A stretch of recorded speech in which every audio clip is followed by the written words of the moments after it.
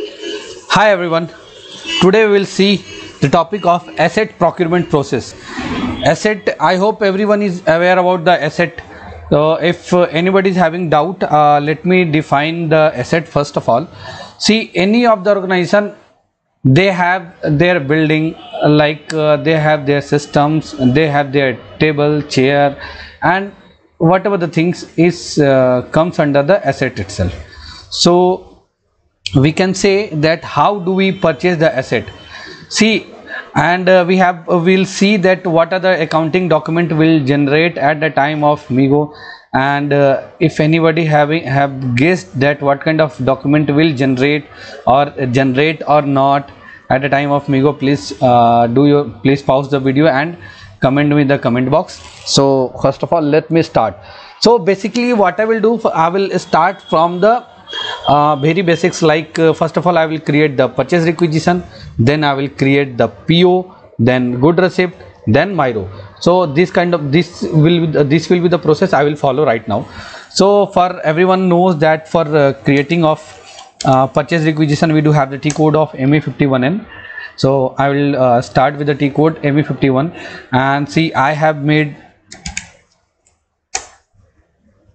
the in the name of z cap uh, uh, pr document type is z cap in the name of purchasing document. See i am purchasing the asset. So what i have to write over here? That a. Account assignment category will be a. That means what? We are purchasing the asset. Then only uh, it will allow allow us.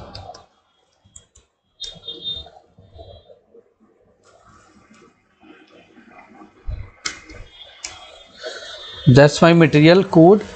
And let me uh, check. I am purchasing the 10 quantities. And uh, what will the what will be the plant i have created? The gp02 is my plant. Storage location. Is it asking storage location also? First of all it is asking asset. So see i'll have to enter the asset. That means in which asset code it will move double three. That I have already created. If anybody is having doubt regarding the asset how to generate the asset just comment me in the comment box. In the next video I will definitely upload with the ERP point is the requisitioner that he has requested for the same and the valuation price is let's suppose the valuation price is 1500 I have entered and let's check it out uh, whether it is working or not. Is there any any issue? There is no issue with and the release strategy also triggered. So what i have to do right now first of all i'll have to save. Before saving let me open the sticky file uh, sticky notes so that you know uh,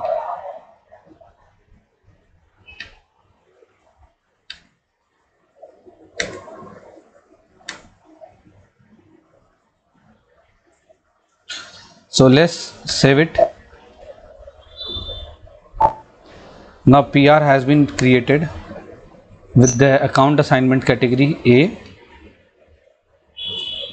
Just copy and PR number equal to this the PR now what I have to do I have to release the PR the same PR how to release the PR slash NME 54N we do have the T code.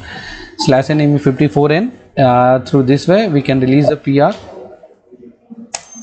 here it is and now what I have to release? Again I have to release that I have already created the release strategy for that's it. Uh, uh, for the PR I have already uploaded a video for PR release strategy.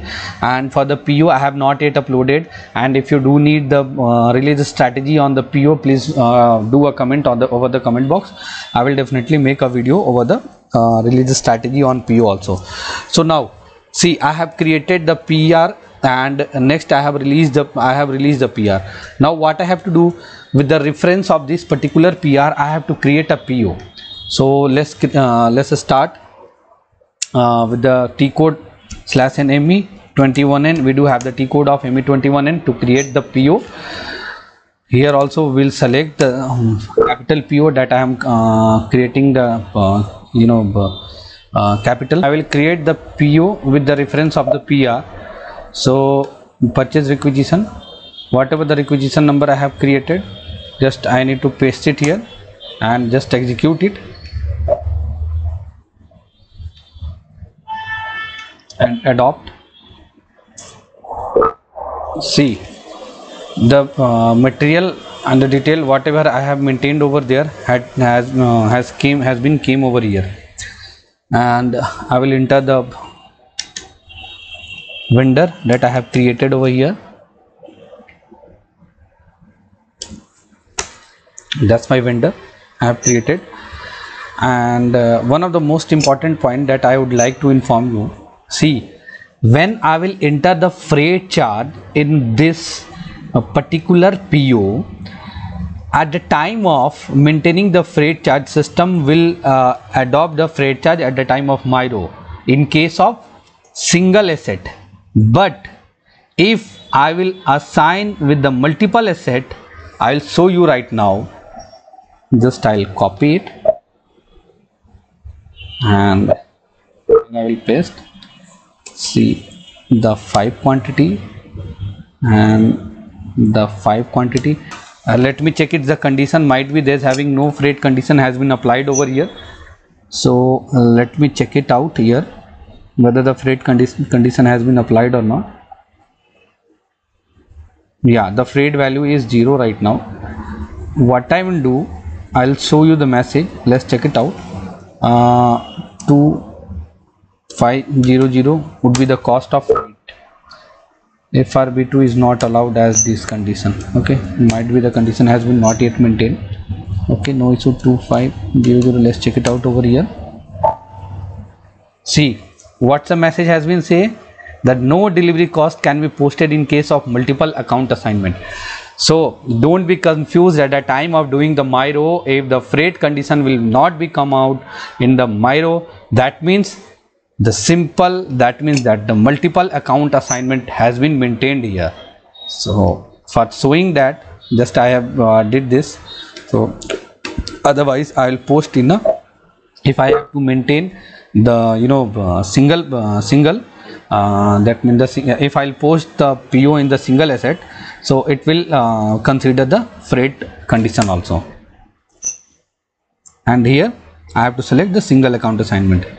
See if i'll select the multiple account the distribution by the quantity basis or distribution percentage basis that means the quantity will be distribute but in case but uh, that freight condition will not be come out in the MIRO that's one of the most important thing that uh, I, I i wanted to inform each and everyone. And see that will be the uh, interview question that uh, interviewer definitely he will ask. If he'll go with the 2 to 3 years of experience that's a uh, similar thing. Is there anything? Let's check it out. Is there anything i have to maintain? No there is no message during issue. And now i have to save it so what? I have created a po now what i have to do in the po what i have to do in the po uh, come here.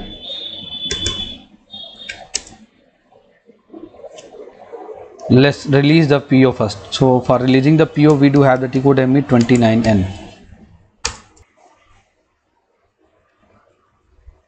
Release, release, and release, and release,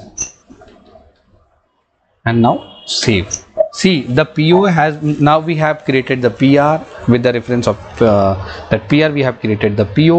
Now the PO has been released. Now what I have to do? See, I will show you the standard gate entry process also in this procurement process. See, the uh, video is little long, uh, but uh, don't worry. I will see you the uh, uh, see the important points whatever the interviewer may ask you for your interview. The interview. So slash n migo for standard gate entry process what we used to do we used to receive the material goods received against the purchase order. See against the purchase order with the you know uh, movement type is 103 that means what? The goods whatever i will receive it will directly go to the go to my block stock. See the delivery note i will mention test 123 and the header text also i will mention test 123 and the condition has been came over here. See now here you do not get the option of uh, the storage location. Why? Because you are not putting the material in any specific storage location. It will directly go to the uh, block stock. That's the reason. And uh, uh, now let's uh, you know uh, yeah click item okay. Now we have to check whether anything any issue is- any any issue is this. There is no issue. And now post see the 103 movement type i have did. That means the material has been came and we have uh, uh, received the material in our block stock. See you can ask me that why don't we receive the material in our own stock like um, with the movement type of 103 101 see why? Because we are not putting the material directly in uh, to our unrestricted stock. First of all we are doing its gate entry process like first of all we will um, receive the material in our block stock. Then i will release that particular uh, particular uh, you know material from released to our unrestricted. Now what i have to do? In the migo release the gr from the block stock. So this was the our uh, material document last. It has been generated yeah. And click on enter. If i'll click see all the thing has been came. And the movement type we can check it out. Right now we have to fill the storage location also. See that means received the material from uh, we are releasing material from the uh, you know uh, asset, uh, uh, we are releasing the asset from block stock and now it will go to the unrestricted use. Now what i'll have to do just click on item okay whether it is okay or not or is there any issue just check and okay and now post. So in the 103 uh, movement type there is no accounting document will generate and uh, let's check it out whether the accounting document has been generated in 103 or not uh, 105 or not. As i have told you that uh, please pause the video and comment it out whether the accounting document will generate or not. So let me clear and uh, let's check it out over here that display. Right the same we are displaying and the accounting document fi document let's check it out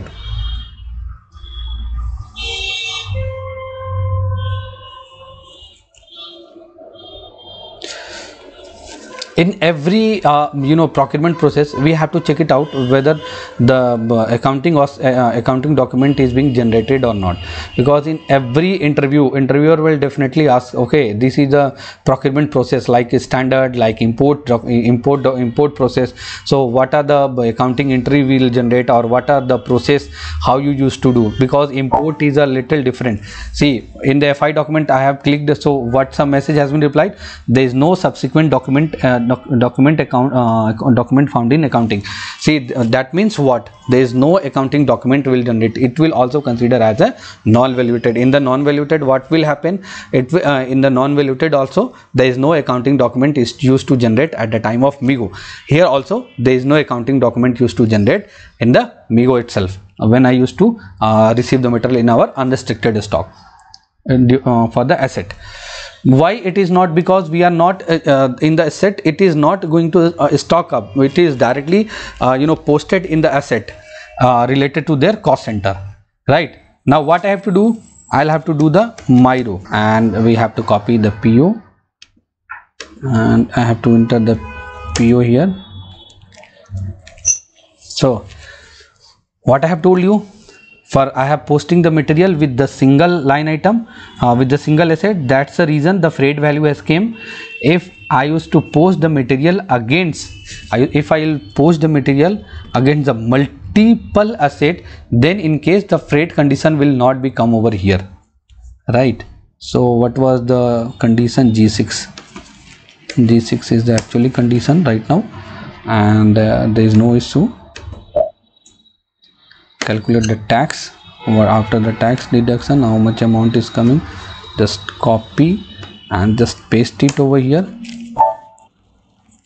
Right? And uh, now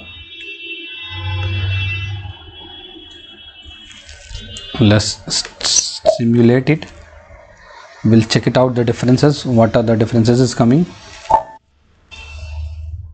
Now till now it is okay.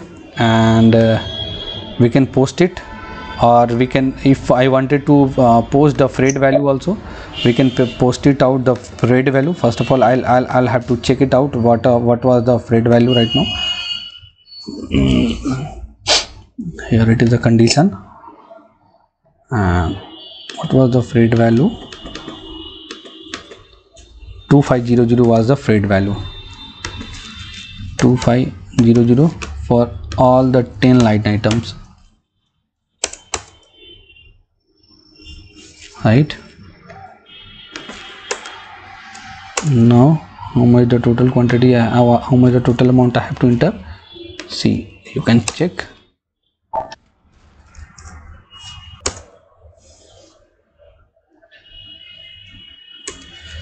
Let's simulate it right now now see the 96900 credited and debited and uh, the accounting is going to be balance in the cost center against account assignment category k.